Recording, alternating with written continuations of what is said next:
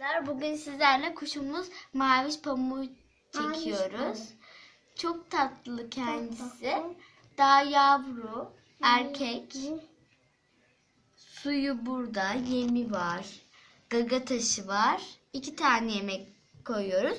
Bir de alt katında ızgarası var. Onun altına biz gazete, gazete seriyoruz. Yoksa kafesi kirleniyor. Tülü var. Bizim kuşumuz çok tatlı. Burada salıncağı var. Mavi ve pembe şeklinde. Çok güzel çanları var.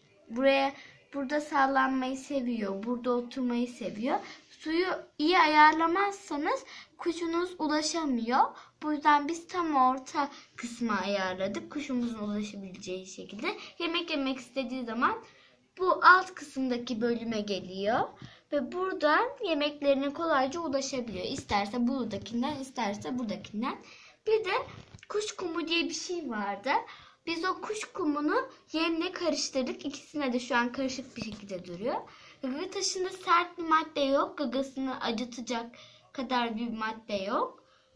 Ee, yemeğinin biraz sertinden maddeleri yapıştırarak kullanmışlardır.